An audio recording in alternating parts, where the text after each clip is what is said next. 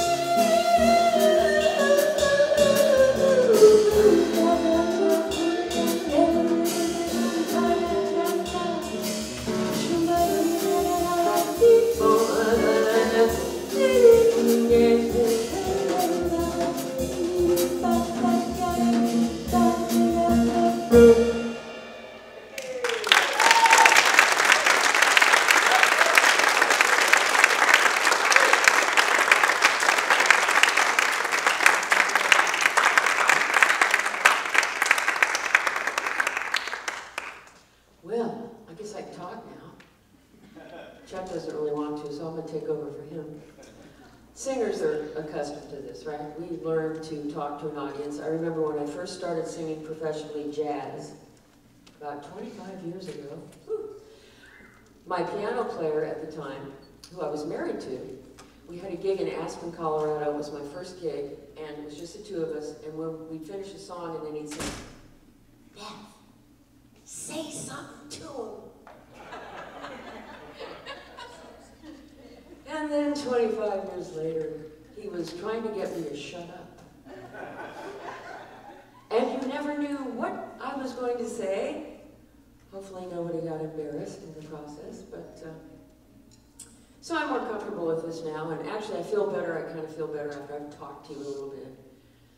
I kind of breathe a little bit. Uh, I did have a thought, and my thought was just to say to you, there's, it, it's so fun to sing this music because there's such a freedom in it, and the longer that you do it, the freer you get and the more you just kind of can amaze yourself with what comes out of you. And these two are just, I'm so happy to work with them because there's so much freedom up here. And we are trying to just see where we can go with this music without a whole lot of, uh, oh, what do you want to say, uh, restrictions. And you can tell, like, I can tell when it's getting there. And I promise you, it's going to, we're going to get there. But you never know when that's going to be. So we're on this journey tonight. We're just going to keep on traveling with you. Thank you so much for being here.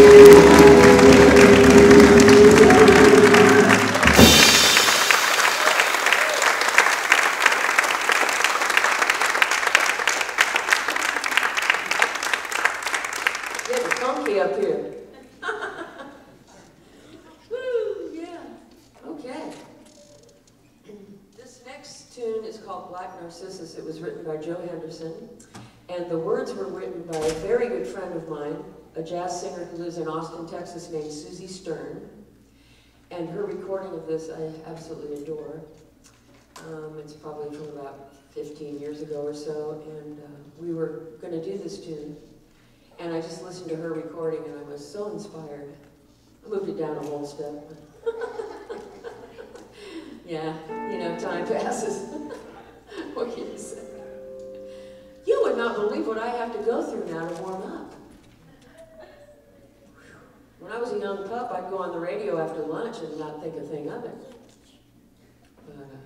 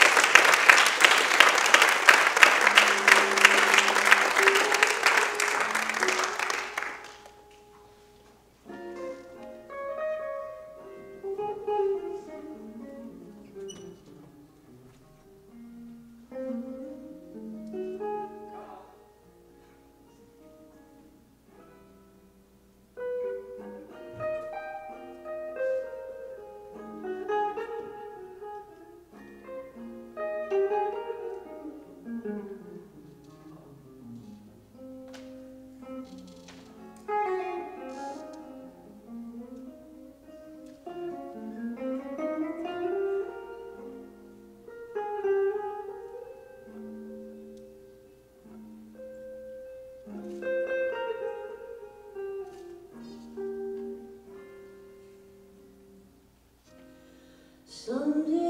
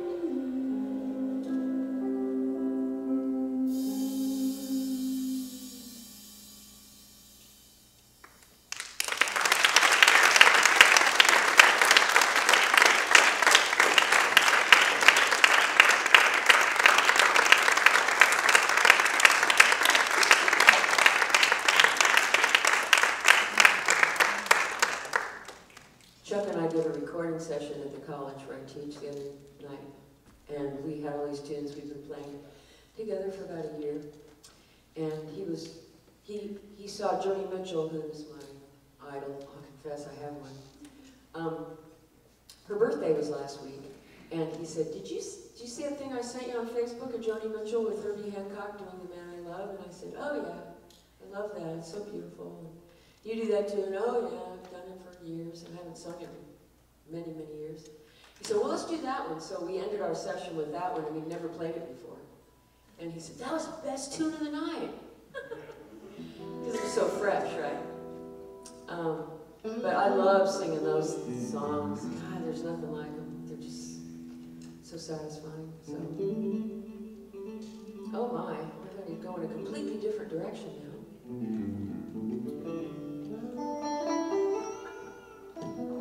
Mm-hmm.